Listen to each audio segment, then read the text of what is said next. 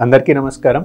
ఈరోజు వీడియోలో మనం అసిడిటీ గురించి జీఈఆర్డి అనగా గ్యాస్ట్రో ఈసోఫేజియల్ రిఫ్లక్స్ డిసీజ్ గురించి అండ్ హయేటస్ హర్నియా గురించి డిస్కస్ చేసుకుందాము.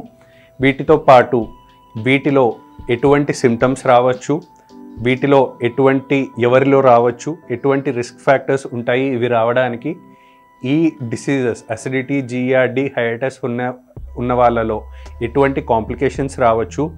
ఇవి ఉన్నాయా లేదా నిర్ధారణ కోసం అండ్ వీటి తీవ్రత కోసం తెలుసుకోవడానికి ఎటువంటి టెస్ట్ అవసరం ఉంటాయి. అండ్ వీటిలో ఇంట్లో పాటించాల్సిన జాగ్రత్తలు ఏంటి? ఎటువంటి మెడిసిన్స్ అవసరం ఉంటాయి.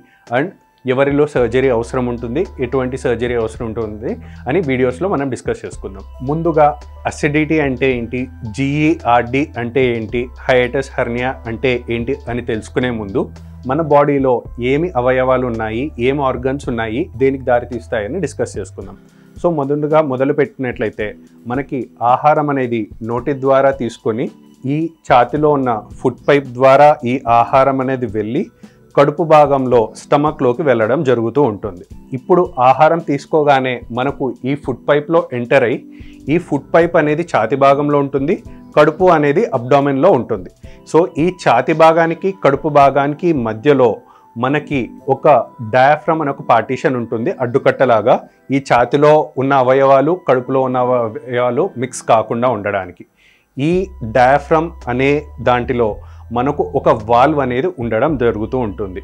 ఈ వాల్వ్ యొక్క ముఖ్య ఫంక్షన్ ఏంటి అంటే ఇప్పుడు మనకు ఇంట్లో నీటి పైప్స్ వాటర్ పైప్స్కి ఎట్లయితే వాల్వ్ ఉంటుందో అలాగే మన బాడీలో కూడా ఈ వాల్వ్ అనేది పనిచేస్తూ ఉంటుంది. ఆహారం కానీ ద్రవ పదార్థాలు కానీ మనం తీసుకున్న తర్వాత అది ఫుడ్ పైప్లోకి వెళ్ళి స్టమక్లోకి వెళ్ళడానికి మాత్రమే పరిమితి ఇస్తుంది.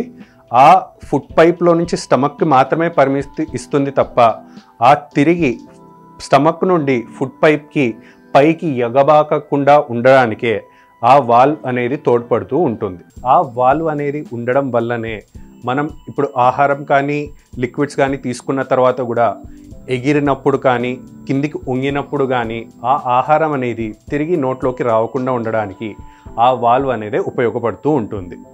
ఇప్పుడు ఈ అసిడిటీ కానీ or G E R D కానీ ఆర్ హయేటస్ హర్నియా కానీ ఉన్న వాళ్ళలో ఏమవుతుంది అంటే ఆ వాల్వ్ అనేది సరిగ్గా ఫంక్షన్ చేయకపోవడం వల్ల అది కొంచెం లూజ్ అయిపోవడం వల్ల ఆహారం అనేది కడుపులో నుంచి తిరిగి పైకి ఎగబాగడం వల్ల వాళ్ళకి అప్పుడప్పుడు అది వస్తే దాన్ని అసిడిటీ అంటారు.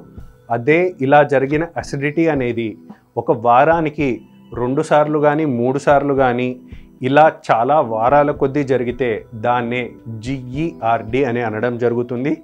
జిఈఆర్డి అనగా గ్యాస్ట్రో ఈసోఫేజియల్ రిఫ్లక్స్ డిసీజ్ అనగా గ్యాస్ట్రో కడుపులో నుంచి ఈసోఫేగస్ అనగా ఈ ఫుడ్ పైప్లోకి రిఫ్లక్స్ అవ్వడం అంటే పైకి ఎగబాగడం.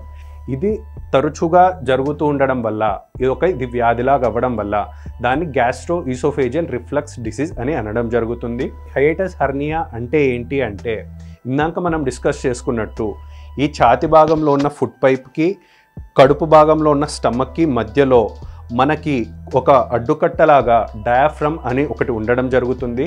ఈ డయాఫ్రమ్ అనే కండరంలో మనకి ఫుడ్ పైప్కి స్టమక్కి ఆ పైప్ అనేది పాస్ అవ్వడానికి ఒక చిన్న గ్యాప్ అనేది ఉండడం జరుగుతుంది ఈ కండరాల మధ్యలో.